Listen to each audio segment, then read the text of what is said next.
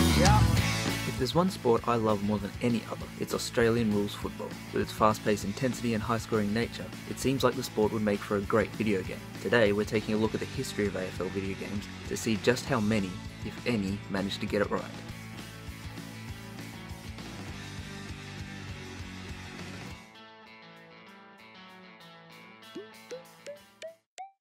The AFL took its first plunge into the world of games with 1992's Aussie Rules Footy.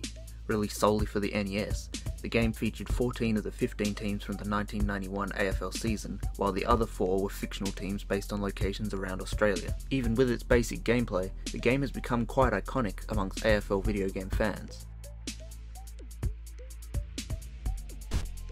Out of bounds, on the full. Four years later, we have the release of AFL Finals Fever in 1996. This game was significant as it featured all 16 teams from the 1996 season, and was the last AFL game to feature the Brisbane Bears and the Fitzroy Lions before they merged to become the Brisbane Lions.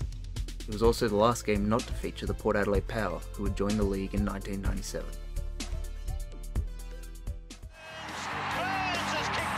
If it's in the game, it's in EA Sports AFL 98, the ultimate football game for your PC. The closest thing to actually playing first grade Aussie rules. You be the judge. The sport took a big step in video games in 1997 with the release of AFL 98, the first of two AFL games published by EA Sports. Yes, the same EA Sports behind FIFA and Madden. AFL 98 really upped the ante and managed to get closer than any other studio had to nailing the fast-paced, free-flowing nature of the sport. EA continued to refine their formula with AFL 99, which improved significantly on 98's graphics while the addition of Leigh Matthews to the commentary team that already featured Bruce McAvaney made for some brilliant banter. After AFL 99, EA decided to leave the sport behind. The idea of releasing a game that only sold in one country really didn't make sense to them, which is unfortunate. The EA games weren't a perfect representation of the sport, but the play was fast and frantic, the hits were hard, and most importantly, these games were a ton of fun, and you can just imagine what the AFL games of today would have become.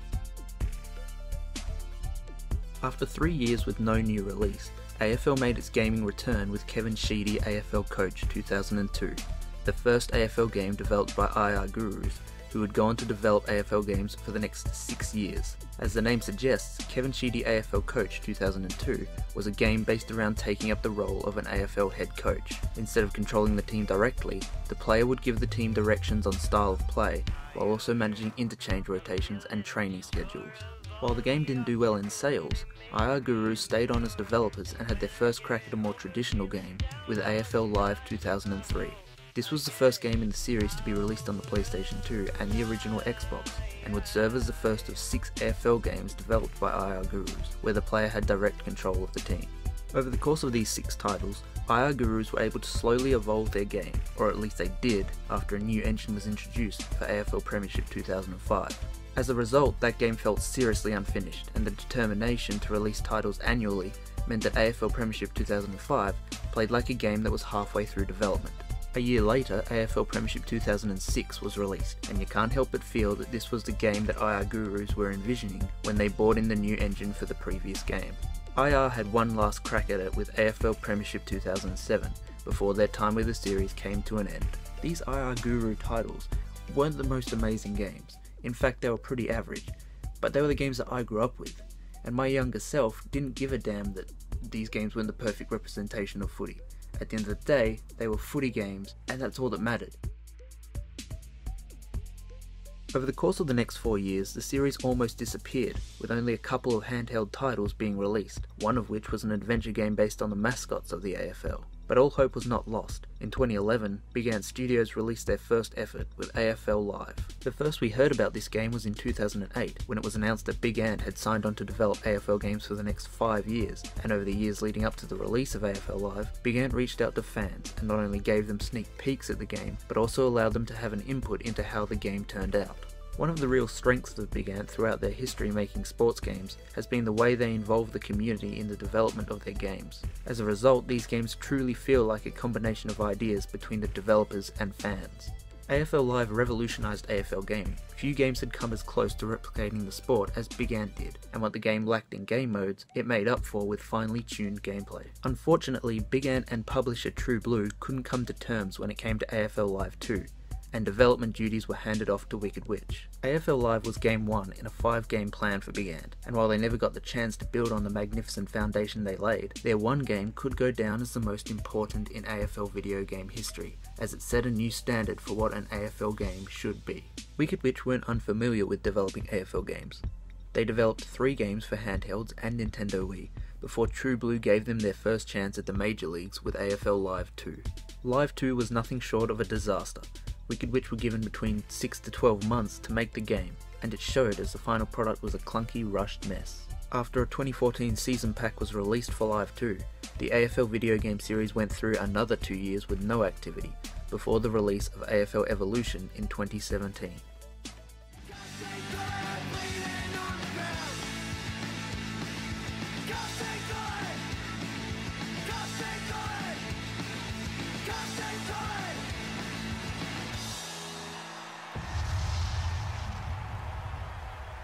Wicked Witch took on development duties once again, but this time they had the chance to bring their A game. Evolution was a massive improvement from Live 2, and in the eyes of many, took a further step forward after Big Ant's AFL Live set the bar in 2011. The game not only featured strong gameplay, but also boasted a large number of teams, including women's AFL for the first time, while the now standard Be A Pro game mode made its first appearance in an AFL game. With Evolution, Wicked Witch not only showed that they were capable of making a good AFL game, but perhaps most importantly, laid a great foundation for future titles. Since the days of IR Gurus, no studio has really had the chance to incrementally build upon the foundation they've set and see the game evolve from one title to the next. There's serious potential in AFL Evolution, and True Blue would be moronic not to give Wicked Witch the chance to realise this potential with further sequels in the Evolution series. But that wouldn't be a first for True Blue. If we're being brutally honest, the history of AFL games has been a rough ride, and the majority of these titles have been average at best. But as die-hard fans, we've come to accept that these games aren't going to be as good as the FIFAs or Maddens out there, if nothing else because of their greatly smaller budgets. Studios like Big Ant and Wicked Witch deserve to be commended for making titles that get anywhere near the big names of the sports genre. After the disaster of Live 2, we've taken steps back in the right direction with Evolution. Now it's up to True Blue and Wicked Witch to build upon this foundation and continue to get us closer to the AFL game we've all been dreaming of. Thanks for watching the video guys. If you liked the video, give it a big thumbs up, comment, share it around with your friends, subscribe, and follow us at AUKS Social on Twitter.